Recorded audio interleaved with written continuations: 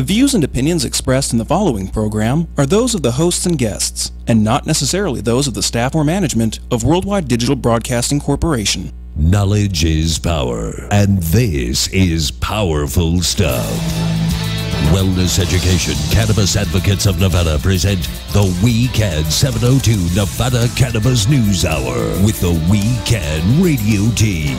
For the next 60 minutes, we'll take an in depth look at the cannabis reform revolution sweeping the nation. Now, let's fire up the news hour. Here is the We Can radio team. Good afternoon, and welcome to another edition of the Nevada Cannabis News Hour. I'm your host, Michael McAuliffe, and with me in the studio today is my co-host Perry Heitzschu. How are you doing today? Perry? Very, very well. Thank you for having me once again. It's good to be well, back. you're you're part of this show. It's not me having you. It's you. You've got to, you know, you're every bit uh, as integral to this show as I am. Uh, as we, uh, you know, not only talk about the news, but you know, we do counterpoint uh, point counterpoint because you you do come from uh, something of a little different political background than I do. So it I, I think it, it it really works to, to help Debate is strengthen healthy. things here. So what's going on here in Nevada this week, or in the past week or so? Well, um, this article is a couple of days old, but we're still going to jump right into it. It's basically the Nevada Athletic Commission is considering removing their ban on cannabinoids uh, for athletes that are testing under their under their um, their umbrella, the people that they're responsible for.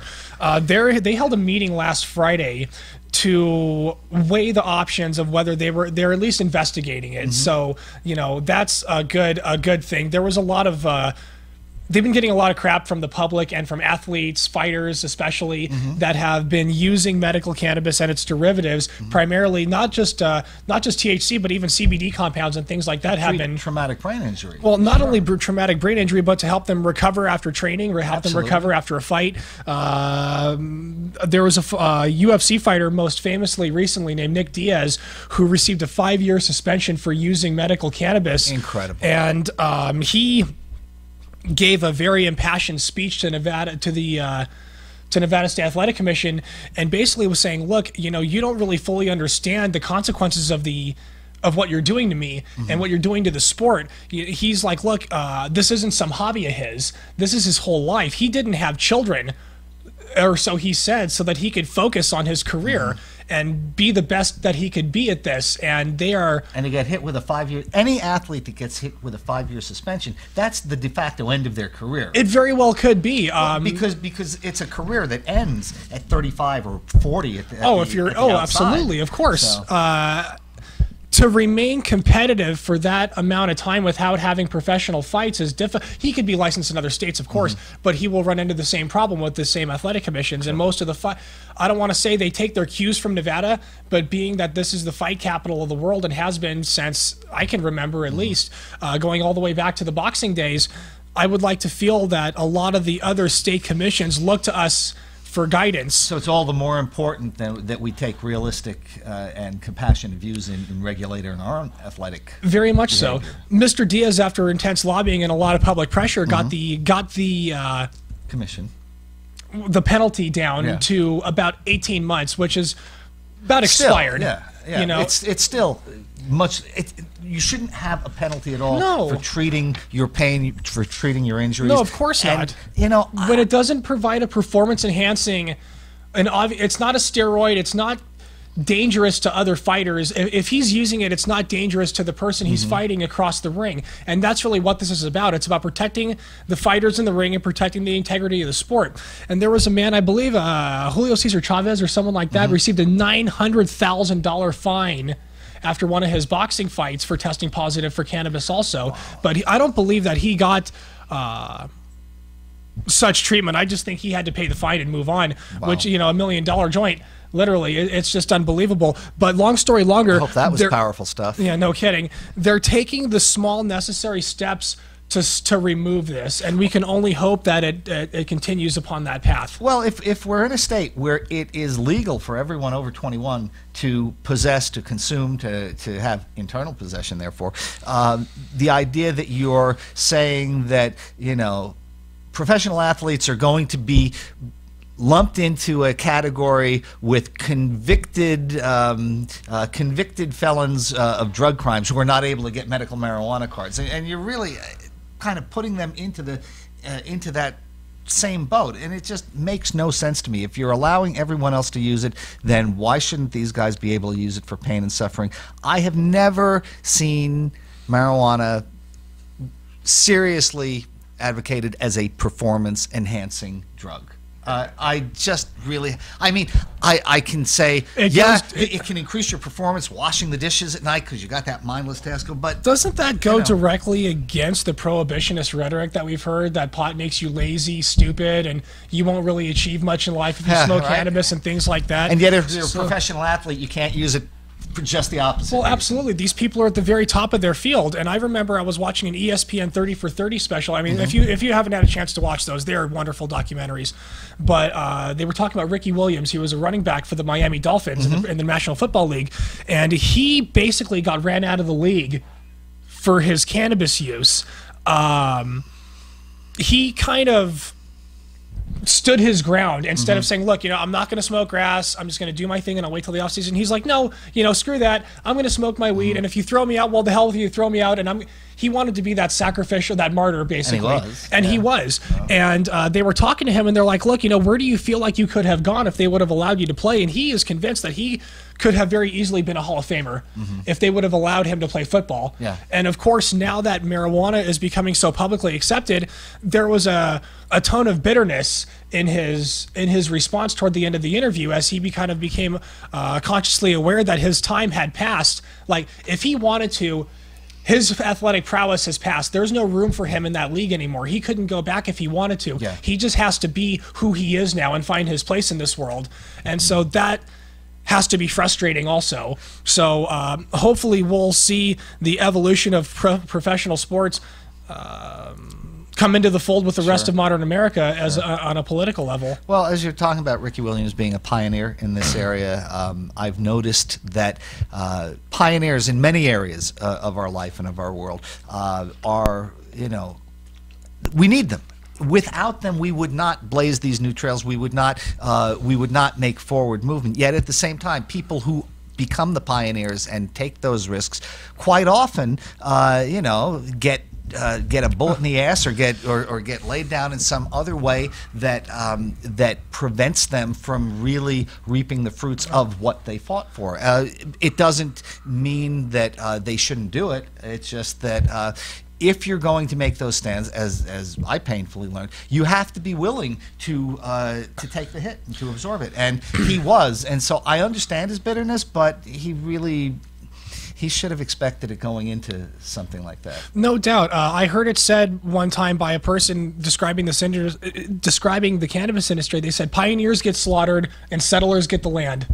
Well, that's that, that's so true. you know, here we are. Uh, but But here we are. Fortunately, uh, it looks like the uh, Nevada Athletic Commission uh, will at least revisit this, and They are going to revisit it. and, and perhaps if they have uh, enough public outcry about it and, and people reaching out to them, uh, they'll realize that uh, that people who use cannabis medically are not doing it to get high; they're doing it to get normal. They're doing it to Absolutely. get back to a functional level. So, what else is happening here in Nevada? Well, uh, We- a we, dumber we had story. our party on New Year's Eve, and I, and I apparently other people have been uh, partying since around the state. We did certainly. Uh, not only in Las Vegas did cannabis become legal, but all Yes. across the state. It's the seventh largest state in the country, and people forget that there are rural uh, is it really residents. I didn't- the seventh largest state? I didn't know that. yeah, we're it's a sizable, sizable, chunk, of, land. emptiness, and, no doubt. And eighty-five percent of it is owned by the federal government. Oh, more than that. Oh my God, they've been seizing land left and right, but that's another story That's for another, another day. yes. Um, so what's anyway, happened up in Elko? our friends in Elko, we a group apparently on this uh, is out of the Associated Press. Uh, on January 4th, it was published. But long story longer is a group of party goers at an Elko bar were cited for smoking marijuana just minutes before the new year brought the new marijuana laws to Nevada. The Elko Daily Free Press reports that a man and a woman were arrested late Saturday for possession of less than an ounce of marijuana, and. Uh, even if they would have been caught a few minutes later, it wouldn't have mattered because it's still not you're not allowed to consume in public. In public, but yes. still, I got into it with a guy online talking about this very issue, and he's just like, "Well, I don't want to smell your dope in the bar and blah blah blah." And and and this and that. Well, and, and honestly, I don't really want to smell your cigarettes either. But here we are, Yeah. and and we tolerate that. And I I got to go home and change my shirt every time I want to go out somewhere. They're both just as legal as each other in this. Well, it seems that the government doesn't have a problem with people slowly killing themselves as long as they're not stoned. Yeah. Um, so that's just one of those things. But regardless, what I was telling this guy is, I'm like, look, if you see someone who's sitting next to you at a bar smoking a joint, that guy's an asshole. Hmm. Uh, we have the technology available to us to very, very disc- like I could be smoking high quality hash yeah. oil sitting right next to you, and you would never know. And that's the way it should be. If we want to be a part of normal society, we should do what we can to blend in with each other and blend in and just kind of do what we want to do and, and not go out and be looking for attention. Okay, but but with that, do you then consider people who uh, make a conscious, informed decision to painfully kill themselves over the course of many years by ingesting burning leaves into their lungs and then spewing those leaves out, out for other people to ingest so they can slowly die over years? That's normal behavior? Uh, well, it's been normalized by the way our society has perceived it over the decades. Uh, back in the day, cigarettes were in every movie, every television. All the cool people, you know, I, I believe even John Wayne at one time had an endorsement for a cigarette. I Oh, forgot absolutely, which he one, did. but you know, um, you know, the Before the lung cancer took him. well, yeah. the Duke. I mean, uh, no offense, but I, I loved John Wayne, and if I would have grown up during that time, I probably would have smoked whatever the hell he was smoking. I, I just binged watched, finished binge watching um, uh, all seven uh, seasons of Mad Men, and what struck me is it, back there in the 1960s, how cigarette smoke was so pre- prevalent every place, Mm-hmm. from offices to airline uh, planes. Oh yeah, and all, all kinds of tobacco. i was told stories back in the day by old casino operators about how uh, next to every table game back in the day there used to be a spittoon for people's chewing tobacco because it was so popular back then. And these are just the things that we're going to have to deal with. Eventually, cannabis will get there. We, it will be normalized to the point to where we'll be telling stories to. Or I'll be telling stories to my grandkids if I have them about how you know, we used to have to hide and go, you know, free, you know, be afraid of being thrown in jail for smoking pot. And they'll go, "Oh, Grandpa, that's not, you know, that's, That's- not that's true. silly, You're yeah. you're just old and senile and things like that." But this is the reality we face. So as we continue to try to educate people on a day-to-day basis, we have to understand that this is a long process. So. Yep, it sure is. And so I, I see over here, you know, I just talked about uh, they used to smoke on on airplanes uh, all the time. Yeah. And now uh, the Air Force uh, is, is kind of changing its tune on uh, what smokers are going to be able to fly their airplanes as line it with the. FBI, and, you know, correct? and and yes, uh, and um, you know here in, in Nevada, of course, we have several Air Force bases from Nellis to Creech and, and the like, and so we see we have a change over here as well from. Uh, Well, yeah. Um, this story we covered the story uh, similar to this about, About the the FBI, uh, not too ago. long ago. Yeah, yeah, yeah. Uh, basically, I think they're having a hard time I finding think recruits well, who haven't smoked pot. Yeah, but the Air Force is more. The armed forces are very serious about their recruitment numbers. Mm-hmm. When they say, "Look, we want twenty thousand people to join this month," they expect those recruiters to get twenty thousand people in those doors. So if they can't do that, and these people are coming back to them saying, "Look, we have a problem," they got to change their game. And this Mm-hmm. is one of the ways uh, how I assume they're uh, trying to attract younger people. And what are they doing? Well, they're basically saying uh, if you've had prior marijuana use and you mark that down on your application, they're not going to deny you to go to the Air Force anymore. How about now, that? of course, if you're currently smoking and you check, hey, I'm smoking, I just smoked before I came in here, they're probably going to tell you to, to, to piss off and come back later Right. when you can pass a drug test.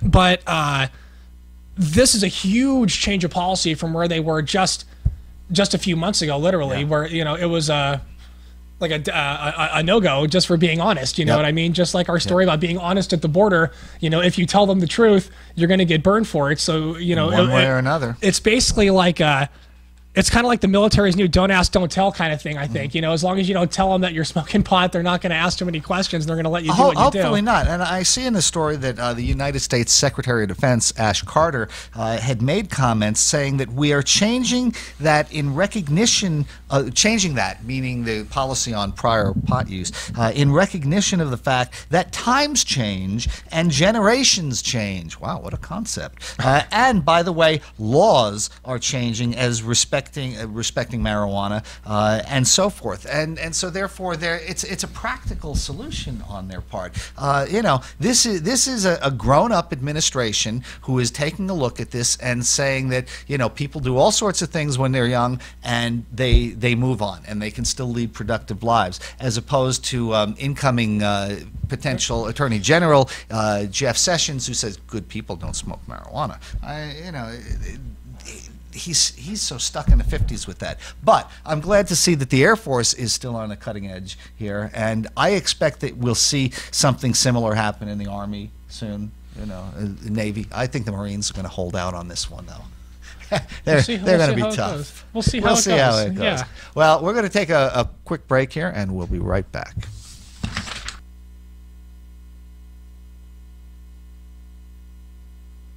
From the soothing sounds of a water wall to the warmth, wood interior, and beautiful artwork, as soon as you enter Sahara Wellness, you are welcomed into a relaxing space where we strive to provide our patients with a healthy balance of mind, body, and spirit. That balance is achieved through a compassionate and knowledgeable staff who possesses both a passion for the medical cannabis industry as well as unrivaled dedication to assisting those in need of a natural method of pain relief. Our bud tenders are available to assist patients in selecting cannabis-based medicine that best suits their needs from our selection of flower, waxes, CBD lotions, and delicious edibles. Sahara Wellness is located at 420 East Sahara Avenue, Las Vegas, Nevada. Check out our entire menu at www.420sahara.com. Attention medical marijuana patients. Do you know what your cannabis actually contains? Are there heavy metals, pesticides, or even mold? And what strength is it really? And is it really what you need? Well, the answers to these questions are simple. Digipath Labs. Digipath Labs is a Nevada state-approved medical marijuana testing facility whose scientists carefully test products for safety and potency, all within the state's rigorous mandate. You can buy with confidence and trust knowing Digipath Labs has tested your medicine. If you're a licensed grower, dispenser, extractor, or edibles manufacturer in Nevada and parallel customer service and consumer confidence, go to digipathlabs.com and find out what we can do for you. And as a patient, only go to dispensaries that carry the Digipath Labs seal of approval. That's digipathlabs.com. D-I-G-I-P-A-T-H labs.com. Or call us at 702-209-2429. That's 702-209-2429. And welcome back to the. Um, we we have something that, that came here uh, just in the in the past uh, week and a half that I think is really uh, fascinating and could be a, uh, a precedent setter. For other uh, places around the country. And, and this comes from Arizona and out of uh, greenrushdaily.com. And the article is entitled Court Rules Medical Marijuana Users Cannot Be Charged with DUI.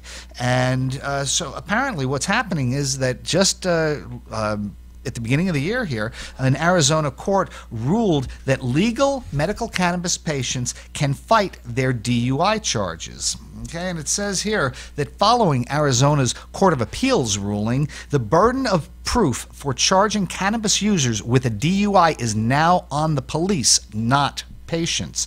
Medical marijuana patients charged with a DUI can fight it in court. And importantly, this means that it's now up to the arresting officer to prove that the THC actually impaired the driver. And I think that's an important thing. Well, this is right what we've been talking about for a long period of time: is how to how to make this uh, this balance between public safety and the rights of the patients. We don't want intoxicated people out there wrecking cars, but course we not. don't want we don't want people's freedom, you know, our most precious right, being taken away unjustly. Also, Absolutely. so this seems like a nice a nice middle ground. Well, it, it gives a, it gives an opportunity for a defense which previously was not there. Here in Nevada, for example, we have per se DUID laws, meaning if you have a certain amount of uh, cannabinoids in your system, then you are considered under the influence, even if you haven't ingested for two weeks. Well, you see, and that's nonsense because also they have a forced a consent rule. So if you say, "Well, Mm-hmm. I'm not, I'm not stoned, and I passed all of your, all of your uh, field sobriety Mm-hmm. test, and I'm obviously not intoxicated," well, fuck you. I'm going to take you to jail anyway. Well, great, you know that, that that's great. And then they take you to jail, and they have the right to forcibly take your blood. When when you get a driver's license in the state of Nevada, you are giving you agree to give the state permission to draw your blood uh, without a warrant.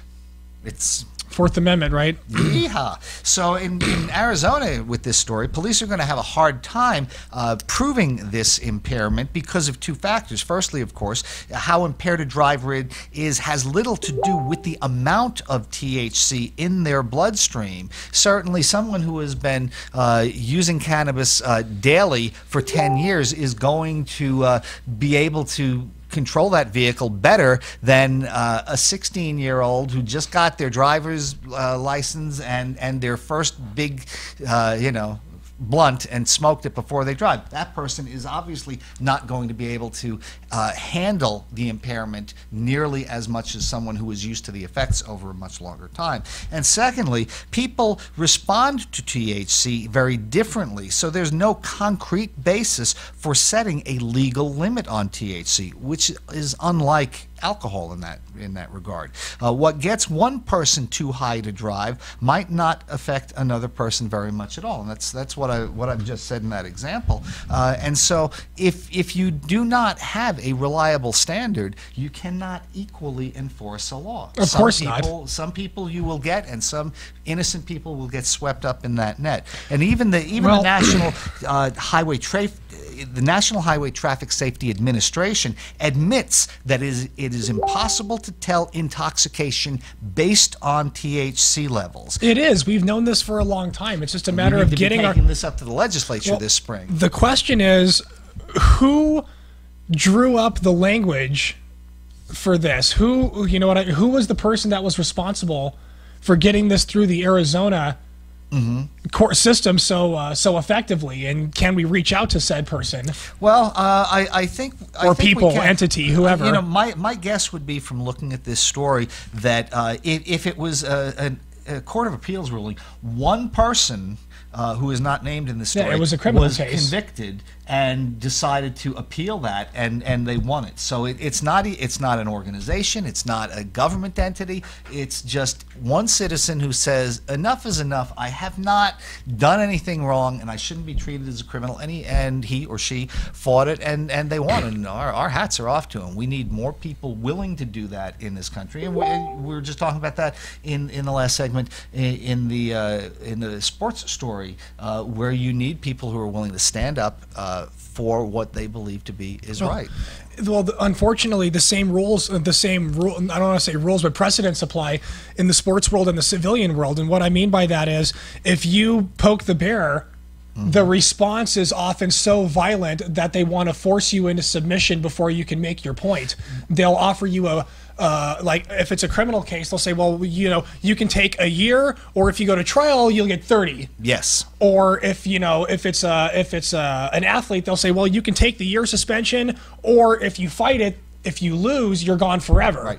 so you know you can go ahead and you know roll the dice but we're going to throw the book at you if you if you And, if you and that's cross the basis of the entire plea bargain system in this country is, is that uh, where, where over 95% of all criminal cases are resolved through plea bargains, it is because they, they ha- drop that heavy, heavy hammer on you if you do not agree to it. And so uh, the vast majority of people will uh, take the lesser charge and try and go on with their lives. So it's, it's, it's a difficult situation. And in finishing up this article here, it says here, so how does someone challenge a DUI under this new ruling in Arizona? And it says that all they have to do is present evidence that they were not impaired while driving. The accused individual can do this by cross examining the arresting officer.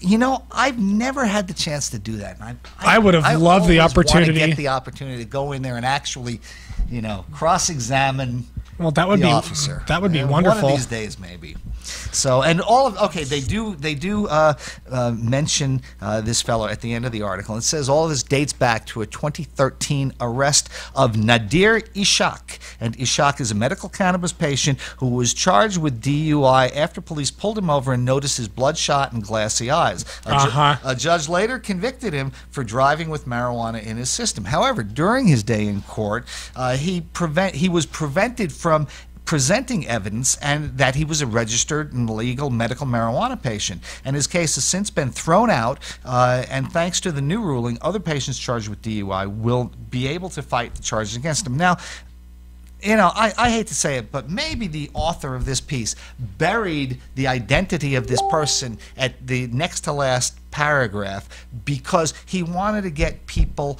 Um, sympathetic to what he was saying, and, and we did. Uh, and I wonder how many people out there would, were going right, right, right along with it, right up to the point where we heard Nadir Ishak, and knowing that that is going to be some sort of um, uh, Arabian or Muslim or, or other kind of uh, uh, heritage, uh, most likely. And and uh, you know, if you put that at the top of the story, it could be you know Muslim fighting U.S. government again. You know, uh, so Lady Justice is supposed to be blind, though. supposed to be blind. Supposed to be So- blind. In this case, she was. So you know, I think this is an important thing for uh, for anybody out there who is uh, a medical cannabis patient and who has a driver's license. You want to be aware of these things and uh, be able to to point to precedents uh, as to why, uh, if you get jammed up uh, un- unrightfully, that you can fight it. So uh, that's a good one. Here's a here's another really uh, uh, important issue I think for medical cannabis patients, and it also comes from the same author, Drew Jameson of uh, GreenRushDaily.com. And uh, this this hit about a week ago, and it says insurance company forced to pay for medical cannabis treatment. And it's uh, Andrew Watson is a 39 year old lumber yard worker who lives in New Jersey, which is a medical cannabis state now. Uh, back in 2008, and it wasn't then, he seriously injured his hand in a power saw accident. Ever since, he suffered from long lasting neuropathic pain.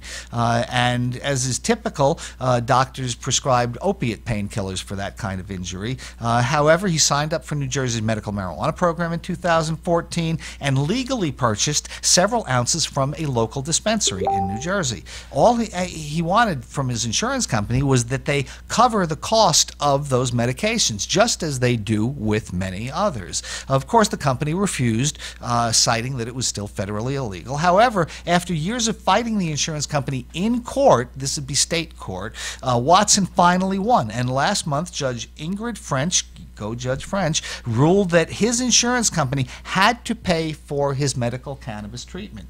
This is a huge step forward, I think. It's a. hu- I'm afraid it's a big step forward and it's a step back at the same time, though, How because so? the response. Okay, I've seen this tactic in corporate corporate warfare also. Mm-hmm.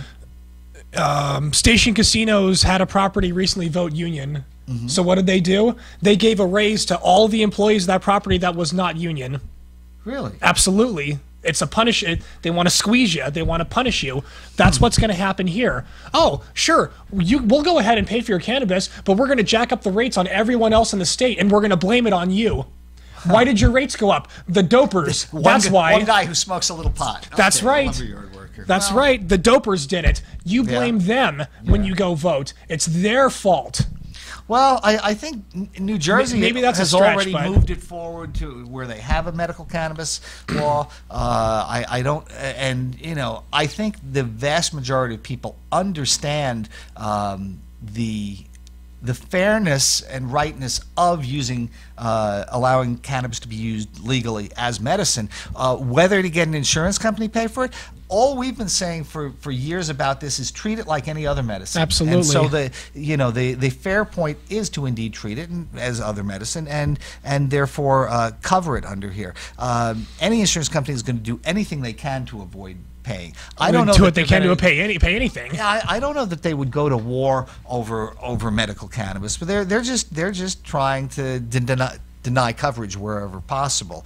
And uh, according to uh, Philly.com, Judge French made her ruling after hearing testimony from Watson and a psychiatrist and a neurologist uh, uh, named Dr. Uh, Edward H. Tobe. And Tobe's argument about the benefits of medical cannabis and the dangers of opiates uh, persuaded Judge French. Uh, Tobe made the case that medical marijuana would help reduce the risk of addiction and other dangerous side effects associated with prescription painkillers. He also said that using marijuana to treat pain would allow Watson to recover more completely from his injury. And uh, it is so important that we are getting more and more um, facts like this presented and accepted into court documents because, as I had said about the Arizona story, it's all about setting precedent. And now another patient is going to be able to point to Judge French's ruling and say, "Wow, you know, we have we have a precedent here where a judge has ordered an insurance company to pay for this, and now our case is similar, so you ought to let us pay for it." And and or let the insurance company pay for ours. And so moving forward that way is how you get a groundswell going. And so uh, I would say to any uh, Nevada-based medical cannabis patient uh, who's licensed by the state, start looking into this. Start call your insurance company up and ask them. Certainly at this point in time, don't be afraid of that they're going to write a note saying, "Oh, a medical marijuana user, we're not, you know, let's." You know, And no, bad and stuff. I, I, I think that the insurance companies could potentially save money in the long term if they were to embrace this. Uh, Oh, cannabis is, if you go to a store without insurance and you try to buy a bottle of, of OxyContin pills, I've been told they're quite expensive. I've also been told Yes, that yeah. wholesale price, according to ArcView, the price of wholesale cannabis is falling rapidly as it expands nationwide.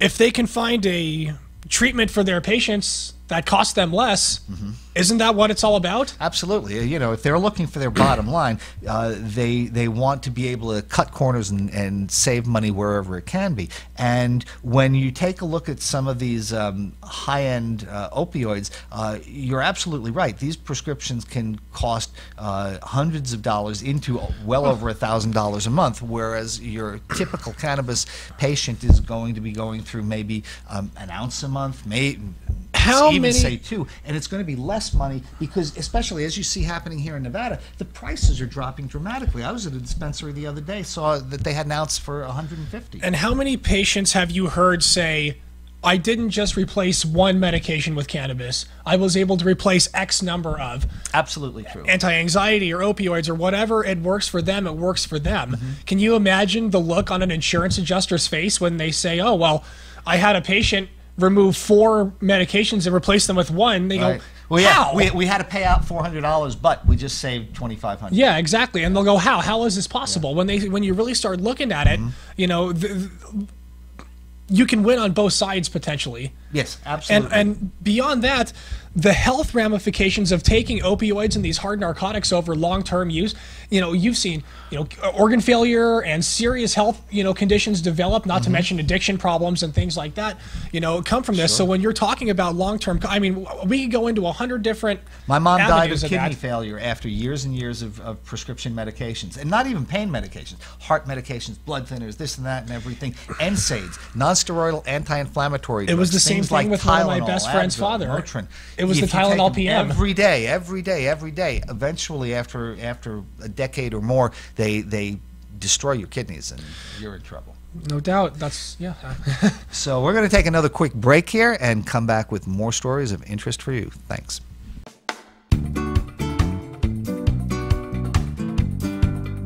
My name is Janine Evans, and I am the office manager at Getting Legal, and we help people get their medical marijuana cards. Anyone can be approved for a medical marijuana card as long as they have a pre existing medical condition. The medical conditions recognized in Nevada include severe pain, severe nausea, muscle spasms, seizures, glaucoma, cancer, HIV or AIDS, and post traumatic stress disorder. Our staff helps every patient determine before they come in for a visit whether or not they will qualify. We take care of the whole process of getting a medical marijuana card from the state of Nevada from start to finish.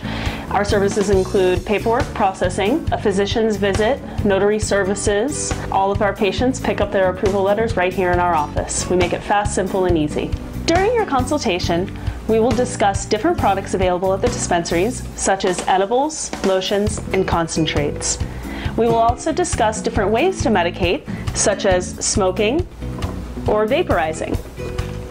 You will receive a separate identification card identifying you as a medical marijuana patient. This is used to enter the dispensaries and only to enter the dispensaries. Every veteran receives a discount off of the full price of their card. We also offer discounts to anyone working within the medical marijuana industry. All you need to do is call 702 979 9999 and a member of our friendly staff will help you schedule an appointment.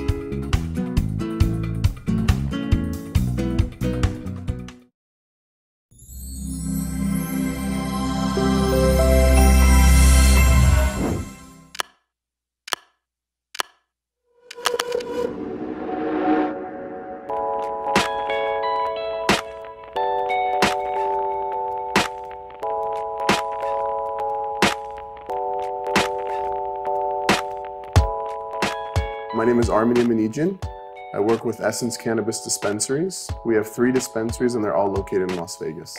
We have the only dispensary on the Las Vegas Strip, which is located at 2307 Las Vegas Boulevard South on the corner of Sahara and Las Vegas Boulevard.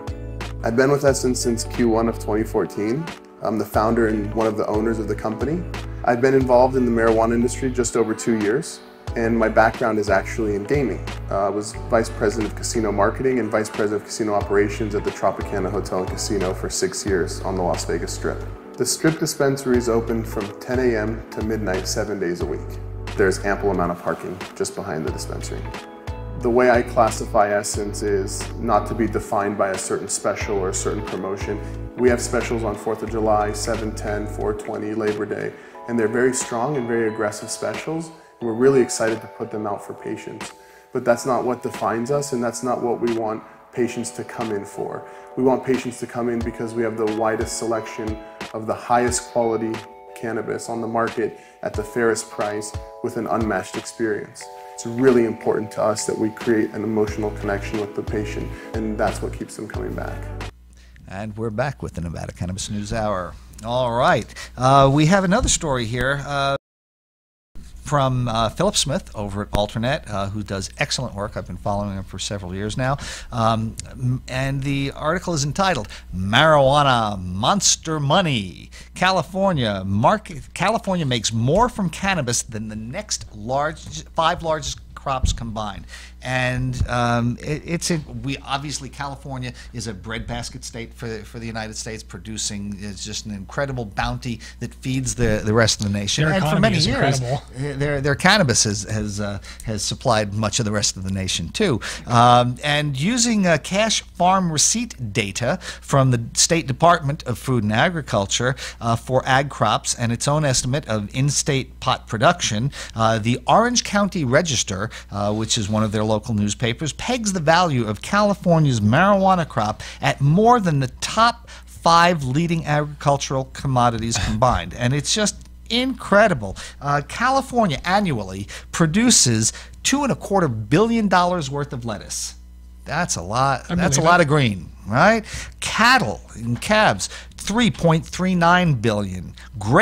Grapes, 4.5 4.95 billion dollars. wine country. Almonds, yeah, you bet, wine country. Almonds, five uh, uh, 5.33 uh, Uh, billion dollars. Milk, the second largest agricultural product in California, is 6.28 billion dollars a year. I guess they do have happy cows in California, but number one on Happy this farmers. list, you know, happy farmers too, is cannabis, which is a staggering 23.3 billion dollars annually to the economy. That is an unfathomable number. It's three times larger than the number that the ArcView Investor Group, which is the big cannabis investment group, uh, the largest in the country, uh, and they've estimated the market at only a third of that. Um, and they and ArcView has said that the entire U.S. cannabis market is going to be worth about twenty billion dollars in 2020. And so here we are, three years ahead of that, uh, where the OC uh, Register has come out saying that the California crop is actually well over twenty billion dollars right at this point. And they extrapolated data from seizures of pot plants, which have averaged more than two million a year for the state in the past five years. Two million plants? Two million plants a Holy year. cow. Wow. And citing uh, the UN Office of Drugs and Crime uh, and common heuristic uh, that seizures account for only 10 to 20 percent of drugs produced. So anytime you get uh, seizures uh, of uh, cannabis, whether it's California, anywhere else, the uh, that only represents obviously a small fraction of what's actually being produced. And so it led them to estimate the OC Register uh, to estimate 13.2 million plants grown in the state in 2015, with uh, with only 2.6 million destroyed, uh, based on that the 20 percent uh, value. And so they're saying if it valued uh, at a market price of 765 dollars a pound, which is about as low as I've seen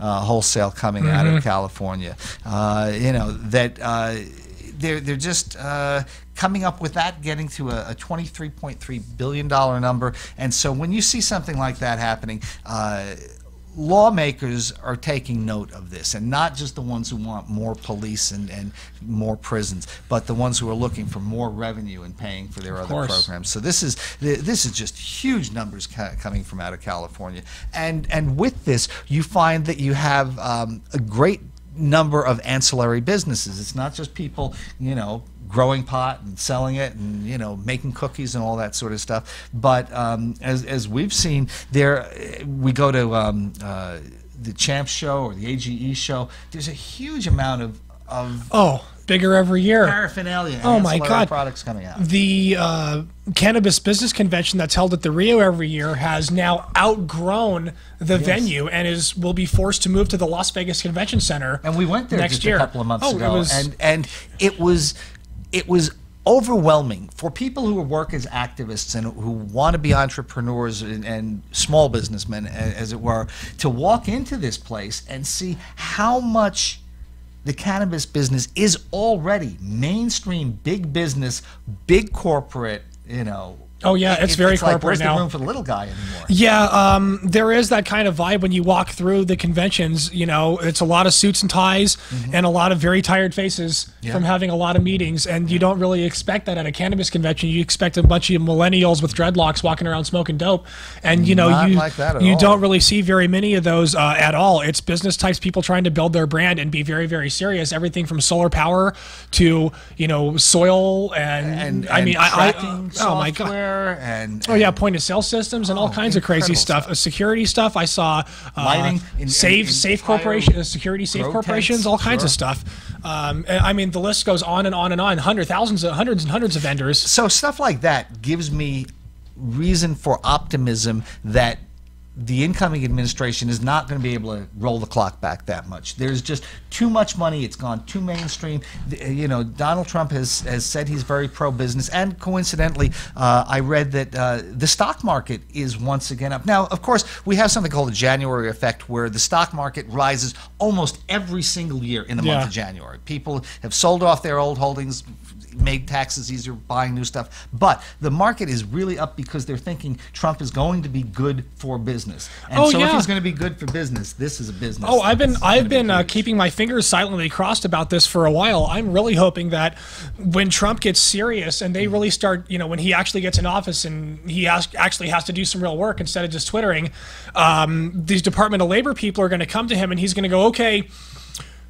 Where are the most jobs being created in the country? And I want an industry that's huge. you know, and they'll go, well, you know, Mr. President, believe it or not, the industry that's created the most jobs in the country year over year over the past three or four years is cannabis, believe it or not. He'll go, yo, you're full of it. And he'll go, show me the numbers. And they'll show him the numbers and he'll look over and he'll go, oh my God, this is real. Yeah. You know, and once it's real, we're, I'm hoping that he will also potentially introduce some some deregulation Yeah. into the market. I mean, everyone says, "Oh, well, let's hope Trump deregulates." Well, shit, we need some deregulation. We need some help with the banks. We need some help with a few things. And Mm-hmm. Yeah. even Senator Murkowski from Alaska has recently introduced an amendment to allow medic or excuse me, to allow cannabis consumers to carry guns. Really? Well, it's a big problem in Alaska where Yeah. everyone carries guns and it's now recreationally legal. So this is a big deal. Uh, conservative Republican senator, you know. So there's movement on a lot of these issues, but really, you know, uh, I, I, I, I mean, uh, there, there's a lot of there's a lot of bad signs, but there's a lot of good signs also. And someone was asking me the other day, should I get into pot stocks?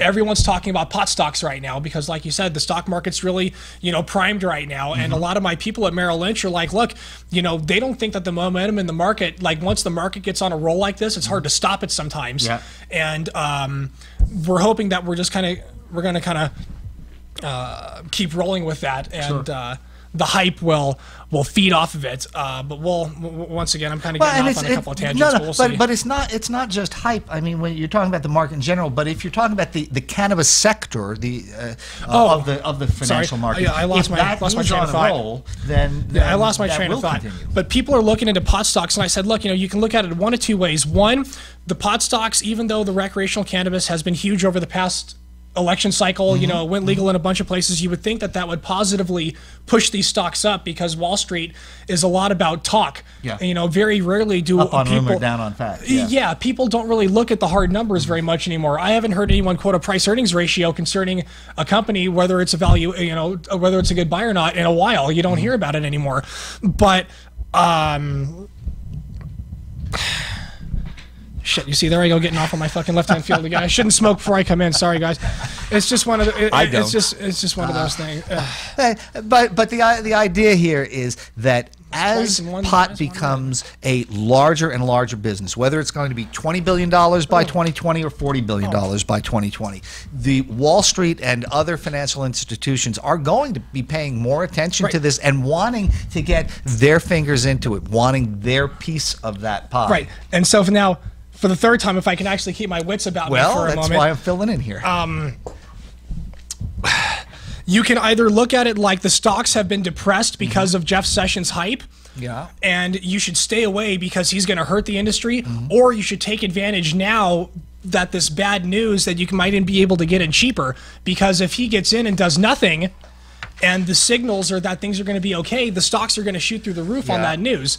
So, you know, it's risk versus reward however you played it, and you can choose to do it however you. You know, it's risk either way, but it's how much risk are you willing to take in this particular industry? I would be very wary of pot stocks if it was me right now. I don't have much money in them. Um, I don't think they're good for trading, bad for investing. If you know, if you're looking to hold them At long this term, point yeah. in time, yeah, I think is a little choppy. And you were mentioning Jeff Sessions, and I just happen to have a couple of a couple of paragraphs here from his. Uh, uh, Senate confirmation hearing last week, and this is part of a transcript. And Sessions suggested that he would take a harder line on marijuana than the Obama administration, which has to some extent allowed states to experiment with marijuana legalization. And he, and I'm quoting him here. he laboratories says- of democracy, right? yeah, he says, I won't commit to never enforcing federal law, Sessions said. I won't commit to never enforcing. That's very slippery. Uh, It is. Uh, that, that's very much a U.S. Senator speaking.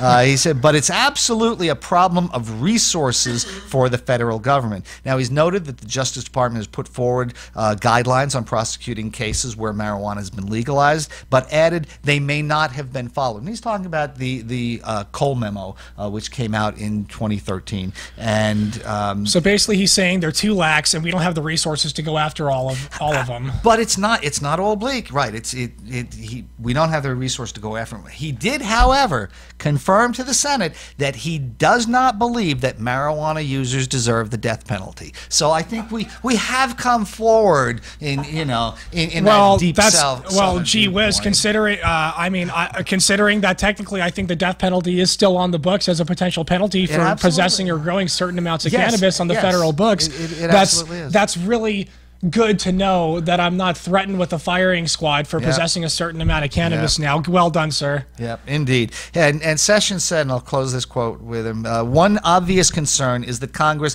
has made the possession of marijuana in every state and, and distribution of it an illegal act. He said, if that's something that is not desired any longer, Congress should pass a law to change it. Uh, it's not so much the Attorney General's job to decide what laws to enforce. We should do our job and enforce laws effectively as we're able. And, and two points here. Uh, Is that is first, that so- like Laxalt deciding, you know, which which voter laws he wants to enforce or but, whatever? But every attorney general, every every U.S. attorney, every district attorney in the company country does exactly that. They they prioritize. They they have a budget. They figure what are they going to prosecute, what are they not. Gee, do I want to go after the guy who was selling a joint on the corner, or do I want to take those resources and go after the child molester or you know the white collar criminal who's you well, know, fleeced uh, people out of we, we've seen that here in Nevada.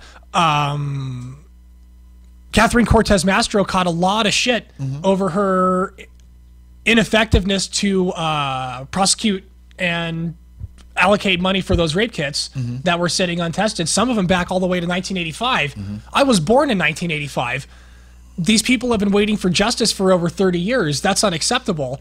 And when I got into it, I brought this to something like way before this became a Republican talking point. I was all over her ass about this online, and some guy was just some uh, former uh, officer, or whoever, some law enforcement supporter was like, "Well." testing drugs tests, or I said, well, you know, they don't test the rape kits, but drug tests Yeah. get put in within a week, right away. They all come back within a week. And he said, well, do the math. Rape kits are expensive to test. And I said, well, this is really your response to that? What if it was your daughter who had been raped? How would you feel about that then? You know, and it's just one of those things like the priorities of law enforcement and even these administrations has to be on the serious crimes, but more often than not, they look for the low hanging fruit because it's easy. Yes, they do. But And once again, yeah. you know, it's like Mr. Uh, like uh, President Kennedy said, we choose to do these things not because they are easy, but, but because, because, they're they hard. are hard. Yeah.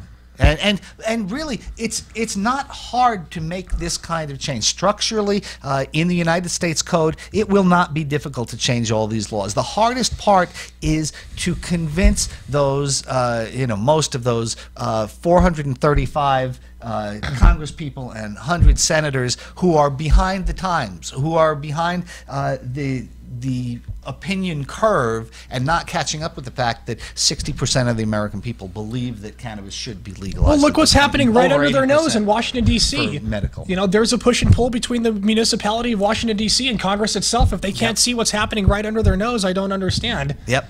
Yep. And um, speaking of Washington, D.C., uh, uh, Chris Roberts uh, reports to us that uh, there are D.C. activists who are planning a massive marijuana protest uh, for uh, President elect Trump's inauguration. And it's Adam Eidinger, who is the fellow we spoke about a few weeks ago, who had gone into Jeff Sessions' office and brought some pot with him because it's legal in D.C., although it's not legal on federal property, and they could have given him a felony charge for that. Oh, Jesus. But anyway, uh, un- he, he's saying that unless Donald Trump uh, declares his support for marijuana legalization in all 50 states, which That's not going to happen. is not going to happen.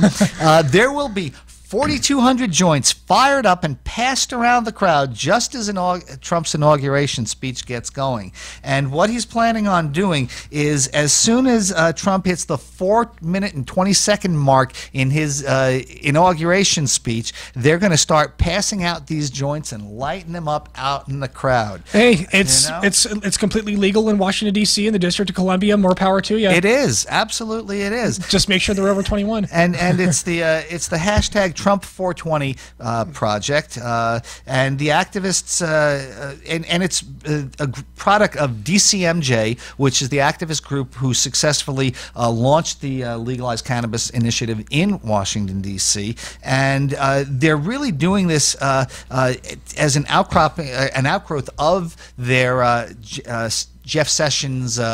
Uh, office stunt, which we told you about, uh, and they're just trying to really push this into the public consciousness and into the lawmakers' consciousness at this point. So um, uh, it looks like they're going to be lighting up like crazy. Uh, and you know, as Bill Maher said uh, just after Election Day, well, America, they've legalized cannabis in a lot of states and given you a good reason to use it. So I can understand why, as soon as Trump is sworn in, people are going to be lighting up. I'm, I'm all for it. I like the idea that, you know, we have these massive tailgate parties at the Super Bowl and uh, for New Year's Eve and things like that where hundreds Yeah. and hundreds of thousands of people come and collectively get shit faced drunk in public Yep. and it's completely acceptable and no one bats an eye and they just clean up the plastic cups and move on. So I don't understand why someone doing something completely recreationally legal is going to be viewed upon as such an act of civil disobedience at this point. But, Mm-hmm. you know, we'll see how we'll see how the news decides to cover it. It, it, it's amazing. It, it's kind of like it's completely legal, much in the same way that men's magazines are completely legal. You can buy Hustler, you can buy Club, whatever. Okay. Uh, and that doesn't mean that you're going to be totally free and comfortable to be reading it on the bus, to be reading it at the PTA meeting, to, or anywhere else. You know, and and cannabis is being treated in a similar fashion. Okay, it's legal. We're not going to throw you in jail anymore, but keep your filthy, disgusting little habit at behind your closed doors at home. And we don't we don't want you to pollute our public space with it. it insane. if the hypocrisy uh, stops in relation to alcohol and cigarettes, I'd be willing to entertain that as a serious. I'd be willing to take that more seriously. Yep. But in, It's it's gluten free. There you go. Hey, we got to take one more quick break, and we'll be right back. From the soothing sounds of a water wall to the warmth, wood interior, and beautiful artwork, as soon as you enter Sahara Wellness, you are welcomed into a relaxing space where we strive to provide our patients with a healthy balance of mind, body, and spirit.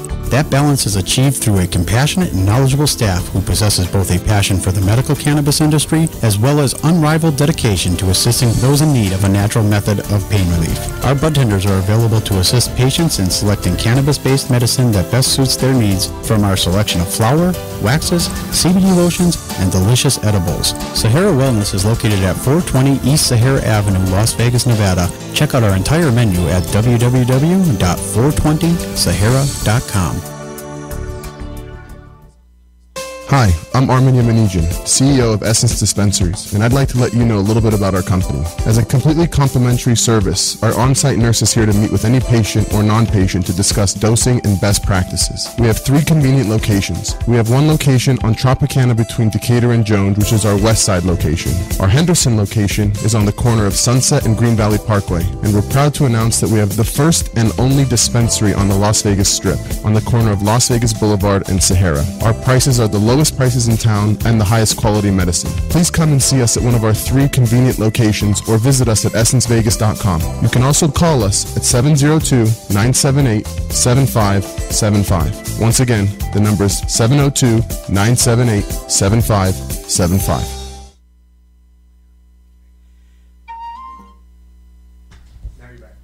All right, and welcome back to the Nevada Cannabis News Hour. Uh, quickly, we want to uh, touch on something here, uh, which I've been talking about for a few years. I, I had said that Martha Coakley, who was uh, uh, AG of Massachusetts, when she ran in 2008, she opposed their marijuana measure there, and she lost by three points. And that and the the marijuana measure uh, sur- surpassed uh, Obama's vote by three points. And and so she lost. She could have won if she had supported. And we're seeing in the recent election now this pattern holds.